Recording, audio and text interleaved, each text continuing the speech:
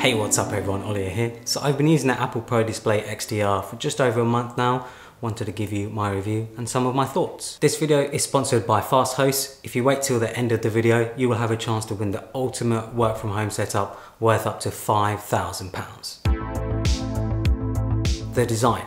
As expected, this thing looks fantastic. I was really taken back by how good it looks when I was unboxing it, when I was setting it all up. It just looks incredible. The aluminium finish on it is absolutely beautiful as you'd expect.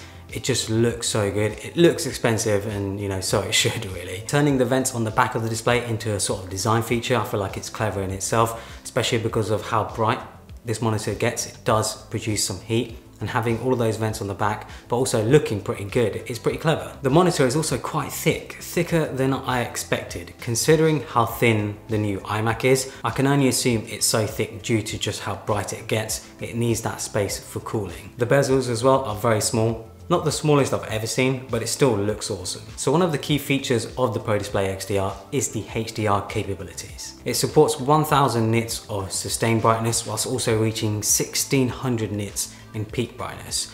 I don't make HDR content myself, so I feel like I'm not making the most of the HDR capabilities, but I can definitely tell the difference when I'm watching HDR content. If I have a HDR video playing in a separate window, you can actually see that part of the display being brighter than the rest of the display.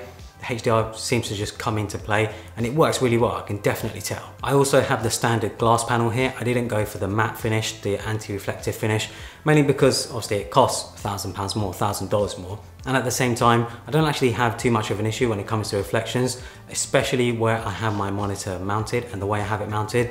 There's nothing behind me to sort of create any reflections or anything like that. So I'm happy with the glass panel right now. Obviously, it's still going to reflect if you have lights or whatever. It's not going to be amazing at dodging those reflections, getting rid of them. But yeah, like I said, it's not too much of an issue for me. And I didn't want to cough up the extra thousand dollars just to have the nano texture display. And also apparently the nano texture display, it's very hard to clean. It's a very delicate texture. So I also didn't want to ruin it. so yeah, that's why I've gone for the glass display. Issues. So there are a few issues with the display that I've noticed in the last month and a bit that I've been using it. The first one is I did find that if you sit too close to the display, the corners of the display can appear darker.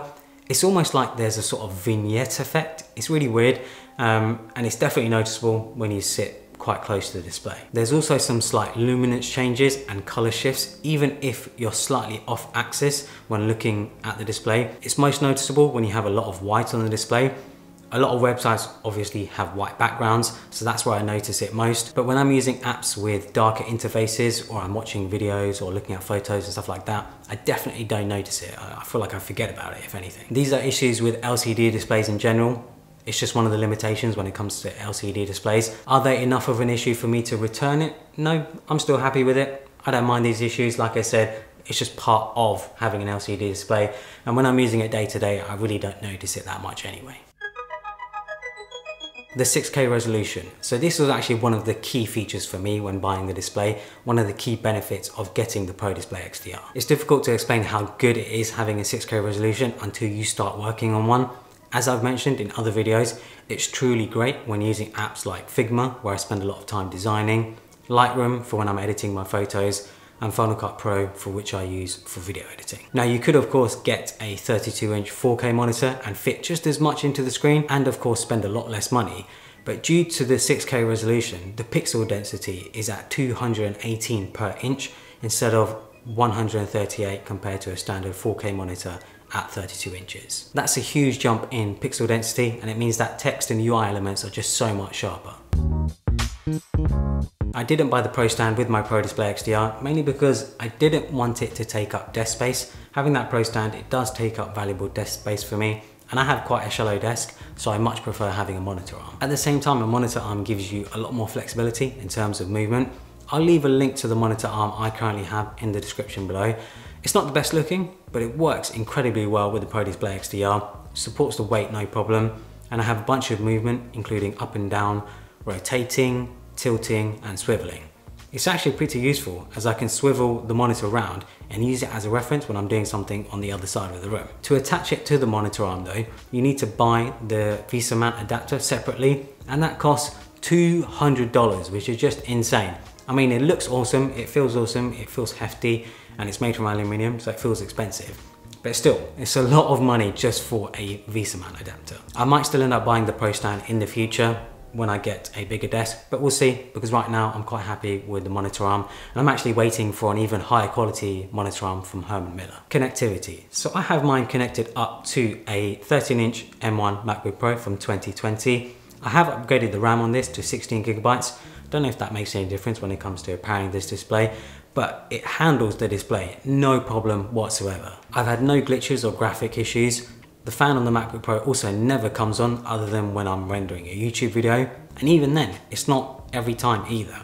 It also doesn't get hot, not even that warm, and it's all done through one Thunderbolt cable, which is even better. This one cable transmits data to the display and powers my MacBook, making sure it's always charged up. But that is also where I think the display is disappointing, because you can only use this with a Mac and you can only use it with a Thunderbolt cable. You can't connect this to a PC via HDMI or DisplayPort as it just doesn't have those ports. There's also three more USB-C ports on the back of the display and these can deliver USB 3.1 speeds but only if you have a 16 inch MacBook Pro with my 13 inch MacBook Pro, I only get USB 2.0 speeds. It's frustrating because I would have loved to use those ports for SSDs or SD card reader, something like that but I end up just using it to charge my AirPods. To get more connectivity out of my MacBook Pro, I actually have it connected to an Anker Thunderbolt 4 dock. It's great, I'll leave a link to it if anyone is interested.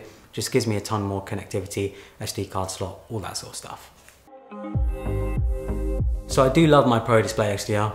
It's a fantastic monitor that does exactly what I want it to, whilst also looking superb. Is it worth it for me though? 100%. Due to the nature of my work, editing videos, editing photos, uh, designing in places like Figma and stuff like that, it just makes a lot of sense having a 6K resolution. Spending that $5,000 to have a display like this where I'm actually sitting behind it every single day, it's actually a very small investment compared to how much usage and how much money I would make from it. Would I recommend it to others? Unless you're a professional working in a similar industry to me, maybe sort of in the creative industry, I probably wouldn't recommend it. This monitor isn't targeted at the average Joe whatsoever. It is mainly targeted at creative professionals. I would still recommend the LG 5K Ultrafine display. It's a bit smaller, 27 inches, it has a 5K resolution, but it's a fifth of the price of the Pro Display XDR, and I still actually have one. I use it at home, I think it's great. So that's the one I would recommend if you're looking for a good high pixel, well high pixel density display at 27 inches and you want to only just have one cable, Thunderbolt cable connected up to your Mac, that is the display I would recommend. I'm going to continue using my Pro Display XDR. I think it's great, it works really well for me. I like it so much that I might actually buy another one just to use at home. Thanks to FastHost for sponsoring this video. FastHost is a UK-based web hosting company which offers a wide range of web hosting products and other services. Their aim is to support all types of businesses and entrepreneurs providing effective and affordable hosting solutions. I use WordPress for my own personal website and FastHost has a dedicated WordPress hosting option.